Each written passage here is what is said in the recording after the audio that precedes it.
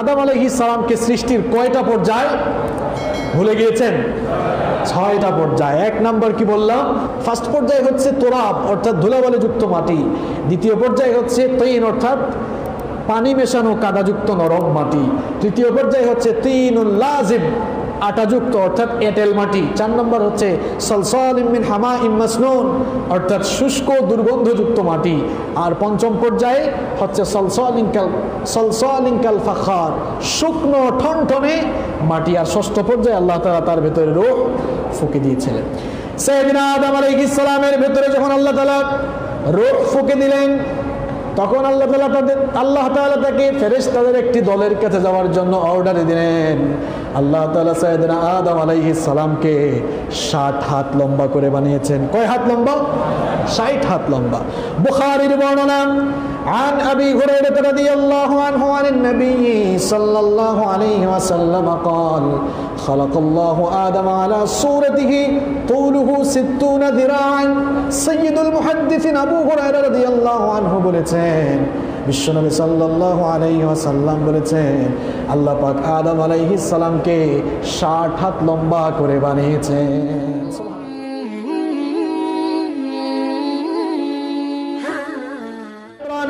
কোরআনের 59 নম্বর আয়াতে আল্লাহ সেই কথা এভাবে বলছেন ইন্না মাসালা ঈসা ইনদাল্লাহি কামাসালি আদম خلقه من تراب ثم قال له كن فيكون আল্লাহ তাআলা বলছেন যে নিশ্চয়ই আল্লাহর কাছে ঈসার দৃষ্টান্ত হচ্ছে আদমের মতো কারণ আল্লাহ তাআলা আদমকে তোরাব অর্থাৎ মাটি থেকে সৃষ্টি করেছেন মাটিকে আরবি ভাষায় তোরাব বলা হয়, আবার মাটিকে আরবি ভাষায় তিনও বলা হয়। আপনারা যখন কোরআন তেলাওয়াত করবেন, দেখবেন কোরআনের বিভিন্ন জায়গায় আল্লাহ তালা বলেছেন, আমি মানুষকে মাটি দিয়ে সৃষ্টি করেছি। এই মাটি দিয়ে সৃষ্টির কথা বলতে গিয়ে কোরআনের কোনো কোনো জায়গায় আল্লাহ তালা তোরাব শব্দ ব্যবহার করেছেন, আবার কোনো কোনো জায়গায় আল্লাহ তালা তিন শব্দ ব্যবহার করেছেন। তোরাব অর্থ মাটি, তিন অর্থ মাটি। কিন্তু এগুলো সিক্ত হয়ে গেল, কাদাযুক্ত নরম মাটিতে পরিণত হয়ে গেল। কোরআনে কারিমের বত্রিশ নম্বর সুরা, সুরাতুস সাজদা এর সাত নম্বর আয়াতে আল্লাহ তাআলা বলছেন, আল্লাযী আহসানা কুল্লা শাইইন খালাকাহ ওয়া বাদাআ খালকাল ইনসানি মিন তিন। আল্লাহ তাআলা বলেন তিনি হচ্ছেন সেই সত্তা যিনি সকল সৃষ্টিকে সুন্দর করে সৃষ্টি করেছেন। আর তিনি পানি মেশানো পানিযুক্ত, কাদাযুক্ত নরম মাটি থেকে মানব সৃষ্টির সূচনা করেছেন। পর্যায়গুলো মনে রাখবেন। প্রথমে ধুলাবালিযুক্ত মাটি ফেরেস্তাদের মাধ্যমে আল্লাহ সংগ্রহ করালেন। এরপরে সেই ধুলাবালিযুক্ত মাটিতে আল্লাহ তালা পানি মিশালেন। এবার সেগুলো কাদাযুক্ত মাটিতে, নরম মাটিতে পরিণত হয়ে গেল। এবার কয়েক দিন এভাবে এটাকে রেখে দেওয়া হলো। বেশ কয়েকদিন এই মাটিকে এভাবে রেখে দেওয়ার কারণে সেই মাটিটি এবার তৃতীয় পর্যায়ে তিন লাজিম, আটাযুক্ত আঠালো মাটি, যেটাকে আমরা বলি এটেল মাটি। এটেল মাটিতে এবার সেটা পরিণত হয়ে গেল। কোরআনে করিমের আল্লাহ তাআলা কোরআনে কারীমের 37 নম্বর সূরা, সূরাতুস সাফফাতের 11 নম্বর আয়াতে বলছেন, ইন্না খালাকনাহুম মিন তিনিল আল্লাহ তাআলা বলছেন, আমি এদেরকে আঠালো, আঠাযুক্ত এটেল মাটি বুঝেন তো আপনারা? এটেল মাটি থেকে আমি মানুষকে সৃষ্টি করেছি। দেখেন, প্রথমে আল্লাহ তালা বললেন ধুলাবালি যুক্ত মাটি থেকে মানুষ সৃষ্টি করেছে। অর্থাৎ ফেরেস্তাদেরকে দিয়ে ধুলাবালি যুক্ত মাটি সংগ্রহ করালেন। তারপরে ধুলাবালি যুক্ত সেই মাটিতে পানি ঢালা হলো, এগুলো নরম কাদায় পরিণত হলো। এরপরে সেই নরম সেই নরম কাদাগুলো বেশ কিছুদিন থাকার পরে আটালো মাটি হয়ে গেল, এটেল মাটিতে পরিণত হয়ে গেল। এবার এটেল মাটি হওয়ার পরে বেশ কিছুদিন এটাকে এভাবে রেখে আল্লাহ তালা এবার আদাম আলহ ইসলামের আকৃতি তৈরি করলেন। সেই আঠালো মাটির উপরে আল্লাহ তালা তার নিজের কুদরতি হাতে আদম আলহ ইসলামের আকৃতি বানালেন সুবাহ আল্লাহ এবার মাটির মধ্যে যখন আদম আলহ ইসলামের আকৃতি আল্লাহ বানালেন, এবার সেটা এক ধরনের মাটির মূর্তির মতো তৈরি হয়ে গেল। বেশ কিছুদিন এটা এভাবে রেখে দেওয়ার পর এটা সলসল মিন হামা ইন মাসনুন। অর্থাৎ সেটি শুকনো, গন্ধযুক্ত, দুর্গন্ধযুক্ত মাটিতে পরিণত হলো। আরবি ভাষায় সলসল ইমিন হামা ইম মাসনুন, সেই মাটিকে বলা হয়, যেই মাটি দীর্ঘদিন ধরে পচতে পচতে দুর্গন্ধযুক্ত কাদামাটিতে পরিণত হয়েছে। সৃষ্টির চতুর্থ পর্যায়ে এবার আদম আলাইহিসালামকে যেই আঠালো মাটিতে আকৃতি বানানো হয়েছিল, সেই সেই এঁটেল মাটিগুলো এবার শুষ্ক, দুর্গন্ধযুক্ত মাটিতে পরিণত হয়ে গেল। কোরআন করিমের পনেরো নম্বর সুরাব সুরাতুল হিজরের ছাব্বিশ নম্বর আয়াতে আল্লাহ তাআলা সেই কথা এভাবে বলছেন, ওয়ালাকাদ খালাকানাল ইনসানা মিন সালসালিম মিন হাবাইম মাসনুন। অবশ্যই আমি মানুষকে এঁটেল মাটি থেকে সৃষ্টি করেছি, আল্লাহ সেই শুষ্ক গন্ধযুক্ত মাটি দীর্ঘদিন থাকতে থাকতে এক পর্যায়ে সেই মাটিকে আল্লাহ তালা যখন তাপ দিচ্ছেন, তাপ দিতে দিতে সেই মাটিকে একেবারে শুষ্ক ঠনঠনে মাটি বানানো হলো। অর্থাৎ এবার সেই মাটিকে টাচ করলে এবার ঠন ঠন আওয়াজ করে।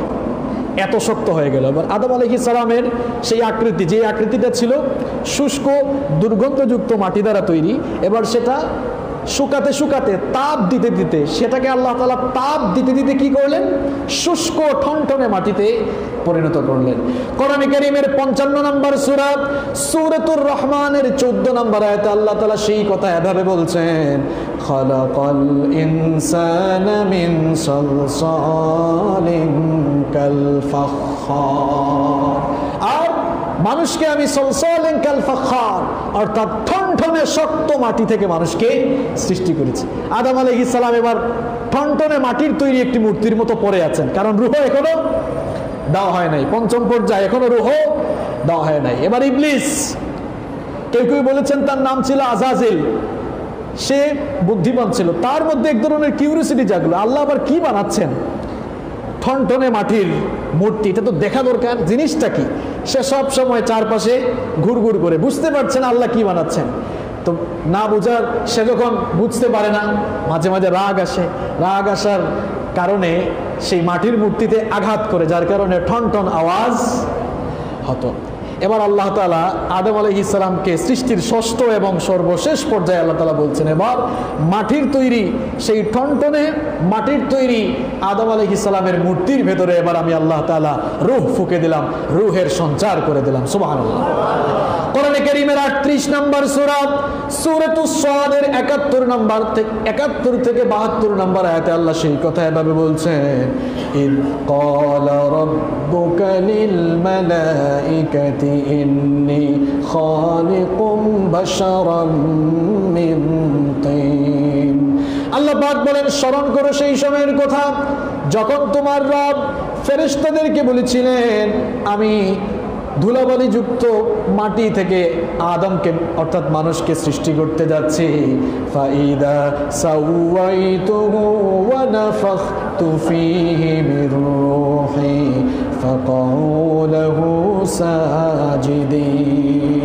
আল্লাহ তালা বললেন যে যখন আমি তাকে আকৃতি দান করলাম, আকৃতি দেওয়ার পর এবার আমি তার ভেতরে রুহের সঞ্চার ঘটালাম।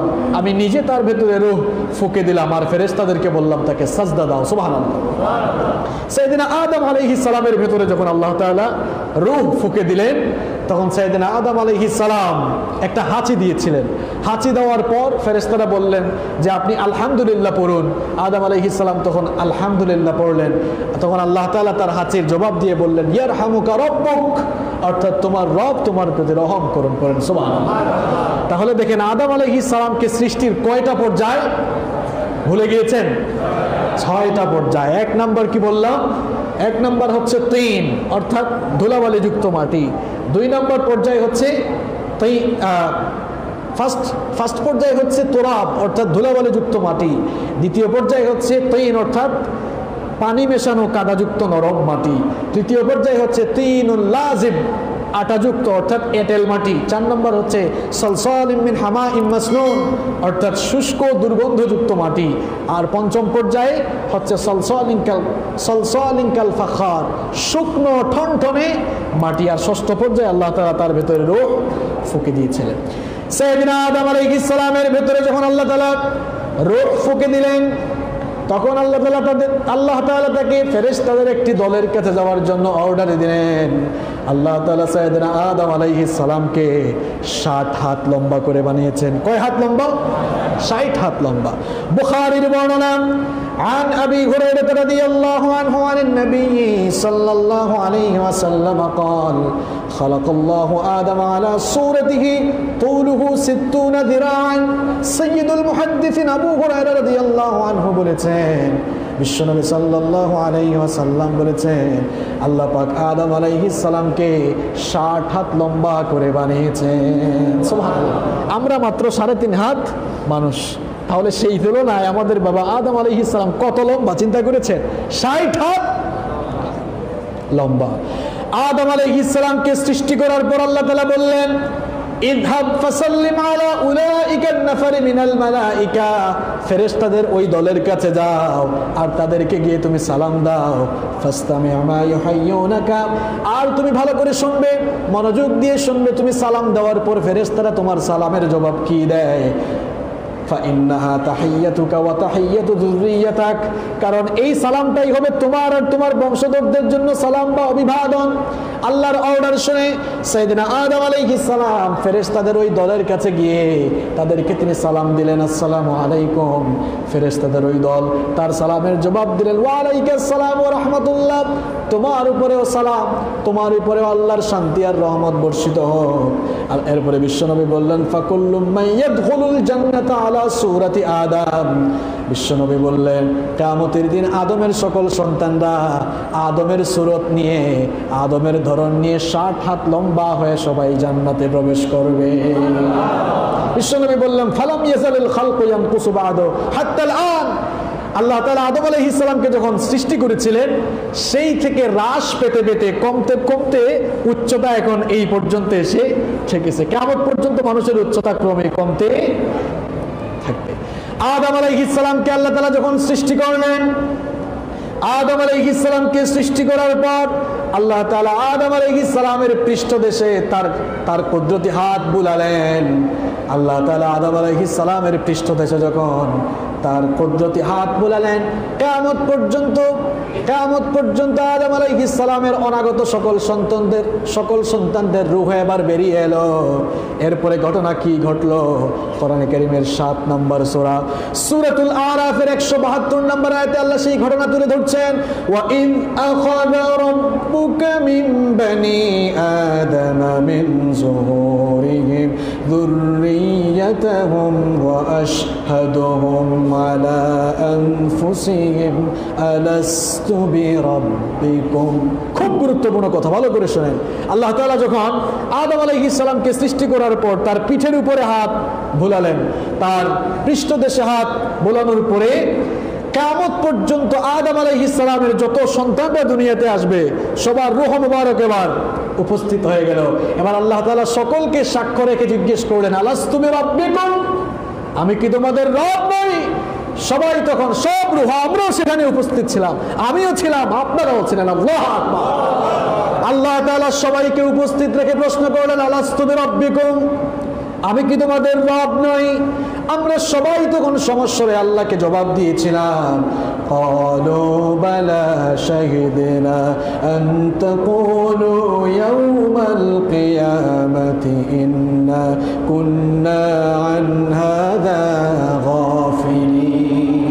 আমরা তখন বলেছিলাম, আগো আল্লাহ, অবশ্যই আপনি আমাদের রব, আল্লাহ আল্লাহ তালা আবার বললেন, তোমাদের কাছ থেকে আজ এই সাক্ষ্য কেন নিয়েছি জানো? কেমতের দিন তোমরা যেন আর গাফেল বা আপত্তি না করতে পারো যে আল্লাহ, আমরা তো আমাদের রবের ব্যাপারে গাফেল ছিলাম এই জন্য দুনিয়ায় অন্যায় করেছি, কুকর্ম করেছি, কুফরি করেছি শিল্প এরপরে যত ধরনের অন্যায়, জুলুম আছে, সব আমরা করেছি। কারণ রবের ব্যাপারে আমাদের সৃষ্টিকর্তা পালন করতে লালন করতে আমাদের রবের ব্যাপারে তো আমরা গাফিল ছিলাম। এই আপত্তি যেন না করতে পারো, এই জন্য আদমকে সৃষ্টির পরে সব সন্তান, তার সব সন্তানদের রুহকে একত্রিত করেই আমি সাক্ষ্য নিলাম। আমি কি তোমাদের রব নই? আলাস তুমি রব্বিকুম আমি কি তোমাদের রব নই? সবাই সমস্যারে জবাব দিয়েছিল, বালা। অবশ্যই আপনি আমাদের এই জন্য পৃথিবীতে আজ যারা শির্ক করছে, মূর্তি পূজা করছে, অগ্নি পূজা করছে, পৃথিবীতে যারা জুলুম করছে, এরা কেমতের দিন আর বলার সুযোগ পাবে না। আল্লাহ, আমরা তো রবের ব্যাপারে অথবা তোমার ব্যাপারে আমরা গা ফেলছিলাম এই কথা বলার সুযোগ থাকবে না। সেইদিন আদম আলাইহিস সালামকে আল্লাহ সৃষ্টি করলেন। বিভিন্ন ধাপে সেদিন আদম আলহিসামকে আল্লাহ তালা সৃষ্টি করলেন। আদম আলহিসামকে সৃষ্টি করার পর আল্লাহ তালা এবার থেকে জ্ঞানগত যোগ্যতা দিয়ে শ্রেষ্ঠত্বের আসনে সমাসীন করে দিলেন। সোহান জ্ঞান ছাড়া মানুষ কখনো শ্রেষ্ঠত্বের আসনে সমাসীন হতে পারে না এই জন্য কেরিমের দুই নম্বর সুরাত সুরতুল বা করা এর একত্রিশ নম্বর আয়াত থেকে আল্লাহ সেই কাহিনী এভাবে বর্ণনা করছেন وعلم آدم الأسماء كلها ثم عرضهم على الملائكة فقال أنبئوني بأسماء هؤلاء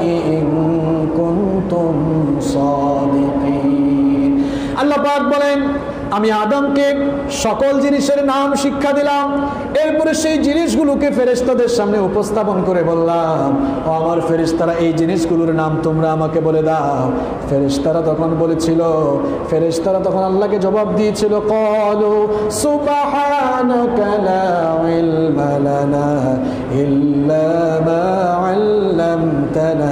ইন্নাকা আনতাল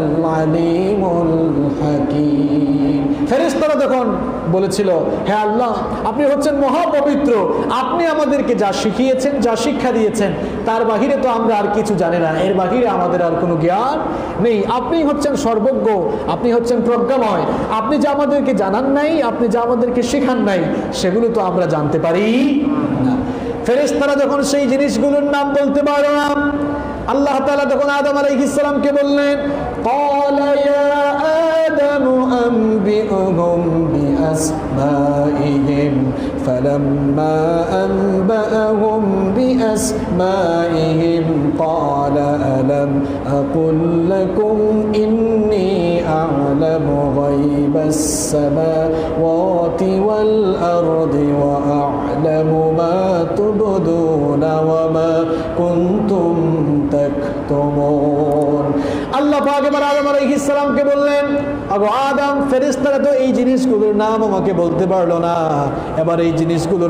তাদেরকে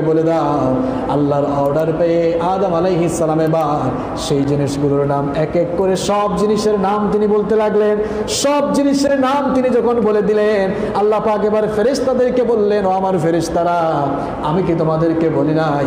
আকাশমণ্ডলী আর জমিনের অদৃশ্য সকল বিষয়ের খবর আমার কাছে আছে। এমনকি শুধু তাই নয়, তোমরা যা প্রকাশ করো আর তোমাদের অন্তরে যা গোপন রাখো, সব বিষয় সম্পর্কে আমি আল্লাহর জ্ঞান রয়েছে। আলহামদুলিল্লাহ